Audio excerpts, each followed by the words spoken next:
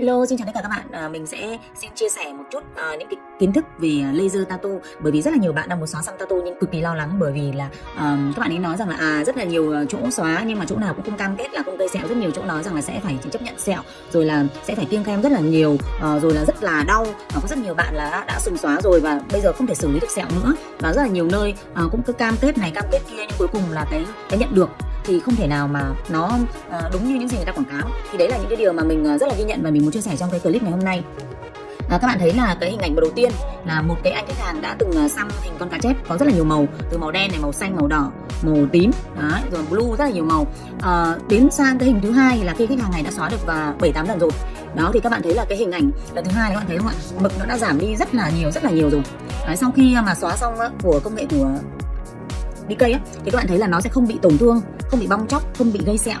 À, cái điều khác biệt nữa của laser Pico Max 2021 ấy, đó là chúng ta đi trên da ấy, chúng ta sẽ không có cảm giác bị đau đớn những cái dòng máy những cái công nghệ cũ. Đó rất nhiều bạn quan tâm là có đau không? Thì cái công nghệ này cái bước sóng này nó nhanh gấp hàng tỷ lần so với những cái dòng máy khác. Cho nên là sóng nó đi qua rất là nhanh và nó làm vỡ bực ở dưới da của chúng ta không gây cảm giác bị đau đớn. Đó đấy là cái sự khác biệt đầu tiên. Cái thứ hai ấy, nữa là khi mà chúng ta về về nhà chúng ta sẽ không bị rột nước chúng ta không bị bỏng nước đấy là điều rất quan trọng. Nhiều bạn đã đi đi xóa rất là nhiều nơi. Và về nhà là, ở đấy thì không sao, nó chỉ đau thôi.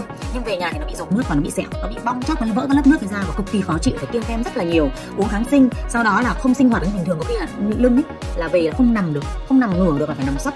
Rất nhiều bạn còn dính cả những cái vết nước và quần áo, nó gây khó chịu cực kỳ đau đớn trong cả tháng trời và uống kháng sinh rất là rất là hại. Đó uh, cái thứ ba nữa là à, sau khi mà các bạn đã bị đóng vẩy rồi khô rồi vài ngày sau nó đóng vẩy lại thì sau đấy là chúng ta sẽ bóc lớp vẩy ra và liên tục bóc như thế nó sẽ bị bị sẹo. Nhiều bạn sẹo lồi sẹo lõm chứ không phải là sẹo trắng thông thường đâu ạ. Và những cái bạn nào mà đặc biệt là con gái mà sẹo như thế thì cực kỳ mất thẩm mỹ chứ đừng nói là đàn ông. Thế cho nên là uh, với Picomax 2021 thì nó sẽ không bao giờ gặp những tình trạng như vậy. Chúng ta về nhà chúng ta vẫn sinh hoạt tắm rửa đến bình thường và chúng ta không cần phải kiêng khem ăn uống hay là kiêng khem bất kỳ cái gì đấy bất thường cả à, đấy là sự khác biệt rất là lớn. À, và ngoài ra cái da của chúng ta nếu như chúng ta không bị tổn thương ấy, thì chắc chắn chúng ta sẽ không, không, không bị sẹo rồi đúng không ạ? Và như các bạn nhìn thấy cái ảnh thứ ba ấy, các bạn nhìn thấy không ạ? Cái làn da của anh ấy nó trở về cái trạng thái bình thường gần như là nó đạt 98 99 trăm rồi. Ở đây là những cái lần cuối lần cuối mà khách hàng nam anh này hút. Thì các bạn thấy là nó chỉ còn mờ mờ ở cái phần uh, phần dưới cùng thôi bởi vì cái phần mực này là nó người ta đi quá sâu ấy thì cái phần mờ mờ này vẫn còn và anh ấy sẽ xử lý nó trong vòng 1 đến hai lần à, cuối là ok và ngoài ra thì đối với những khách hàng nào mà cái cái nền da đấy sau những lần laser cuối cùng ấy, có thể là nó sẽ hơi còn một chút gọi là hơi bị thâm nhẹ thì chúng ta sẽ có những cái bước mà về sau chúng ta sẽ laser thâm. Laser thâm để làm sao mà hết cái thâm vùng đấy. Và cuối cùng ấy là chúng ta có thể có những cái bạn nào mà có điều kiện ấy thì chúng ta sẽ có thể là giờ đến spa để chúng ta lăn kim hoặc là chúng ta phi kim những cái vùng da thâm đấy hoặc là peel những vùng da đấy để cho cái da của chúng ta nó trở về cái trạng thái tốt nhất. Còn laser thì nó sẽ xử lý đối với Picomax đã xử lý khoảng 98 phần trăm như hình này là anh ấy rất kiên trì. Đấy, cho nên là mình khuyên các bạn những cái bạn nào mà đang có ý định mà laser tattoo xóa những hình xăm ấy thì các bạn hãy tìm hiểu thật là kỹ.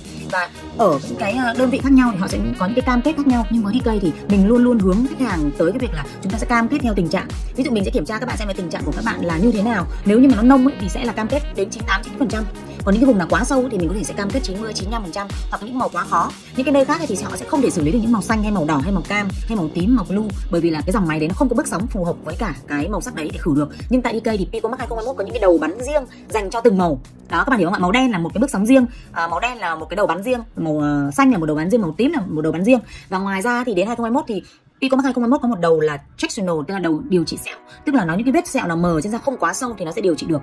Đó đấy là một cái điều rất là hay mà những cái công nghệ ở những cái nơi khác hoặc những cái dòng máy khác nó không có. À, cho nên là những khách hàng nào mà còn đang quan tâm đến việc là xóa xăm thì các bạn hãy có thể gửi hình ảnh qua SDK Eyebrow Beauty hoặc TikTok của Minh Vương hoặc là Facebook của Minh Vương để mình sẽ kiểm tra tình trạng và mình sẽ báo uh, tư vấn cho các bạn. Ngoài ra thì để tốt nhất thì các bạn hãy đến kiểm tra trực tiếp bởi vì mình sẽ kiểm tra cho các bạn xem là da của các bạn đang ở cái tình trạng như nào, độ nông sâu của mực như thế nào thì sẽ có một cái phương án cụ thể uh, để chúng ta có thể có một cái cách uh, điều trị và xử lý tốt nhất nhé.